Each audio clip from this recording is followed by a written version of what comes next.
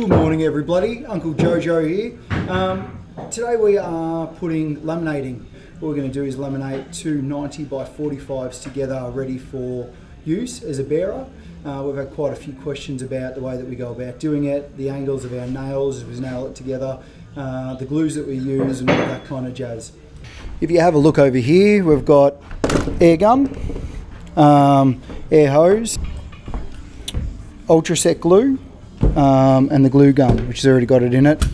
First thing that we do is run our eye down our timber, our timber, and have a look for bows and warps down all of our timbers and make sure that we counter them. So if one's going one way, then we make sure it goes the other way. That one's pretty good. And then you mark it accordingly.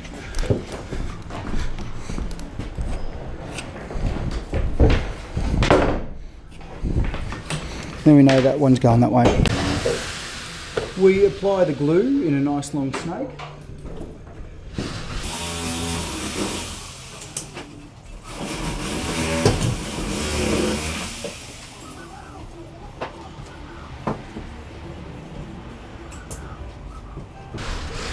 What we do is we counteract our bows. So we've got one timber bowing that way, one timber bowing that way.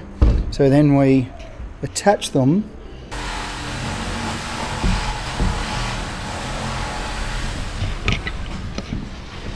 So we've got one bow going down, one bow going up. And then when we attach them, they can counteract each other. We start at one end. We get our timbers nice and flat and level and we follow one side and make sure one side stays flat the whole way. The reason that we do one side and we keep one side flat is because timber will vary slightly and you can see it already has here and what we'll do is we'll just run the planer down and make sure it's nice and flat on both sides later.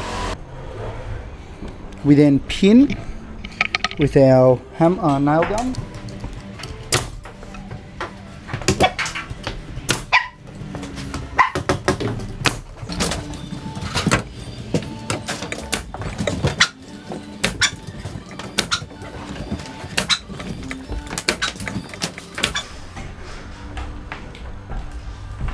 Now that we've done that, then we run across and we angle it both ways. So a nail goes, one goes facing upwards, the other one comes facing down. You can see here that we have nailed in opposite directions, keeping the nails no more than about 90 to 100 mil apart as you space them.